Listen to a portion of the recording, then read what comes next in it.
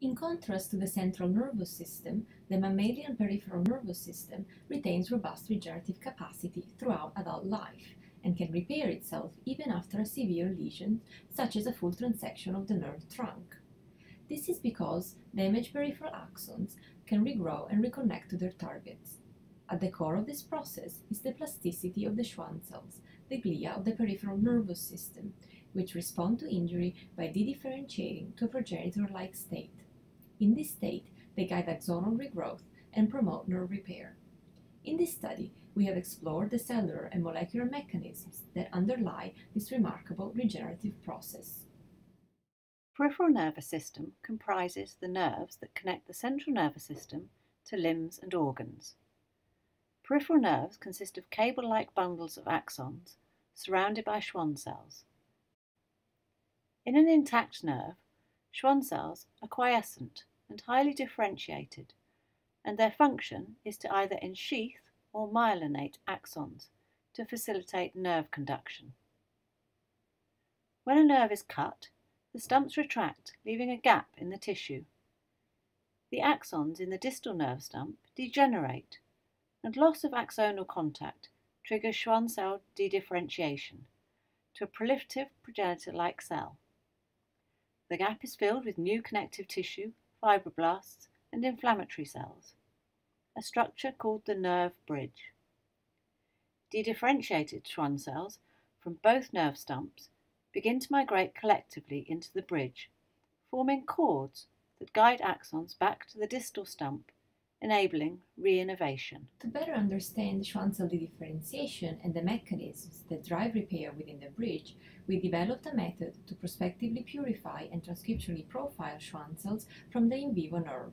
To do this, we generated a reporter mouse model in which Schwann cells are selectively labeled with the red fluorescent protein tdTomato.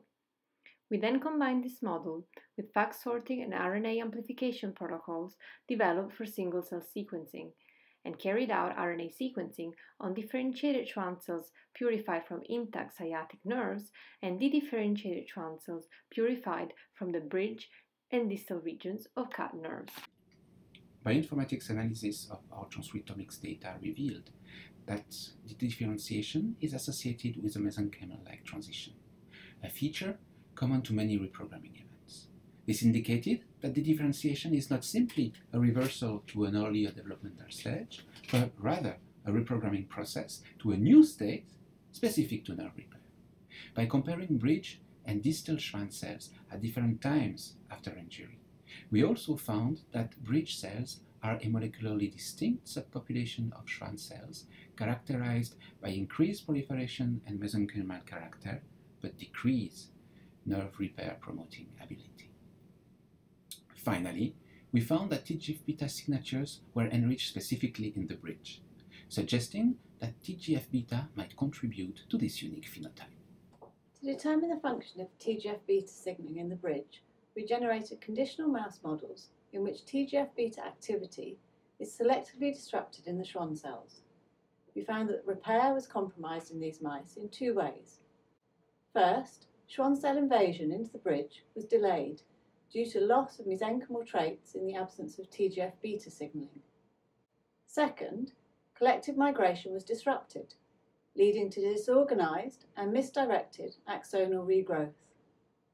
This phenotype was similar to the phenotype of EPHB2 knockout mice. EPHB2 drives collective migration of bridge Schwann cells by inducing Schwann cell sorting through N-cadherin. These studies reveal that Schwann cell differentiation is not a single homogeneous state dictated exclusively by cell intrinsic programs. Rather, the dedifferentiated state is actively shaped by extrinsic signals from the nerve microenvironment that adapt the cells to the specific repair requirements of the local tissue context. Within the bridge, wound-derived TGF-beta reprograms Schwann cells to a mesenchymal state. This transition generates a distinct subpopulation of dedifferentiated Schwann cells able to invade and migrate to the hostile bridge microenvironment to drive nerve repair.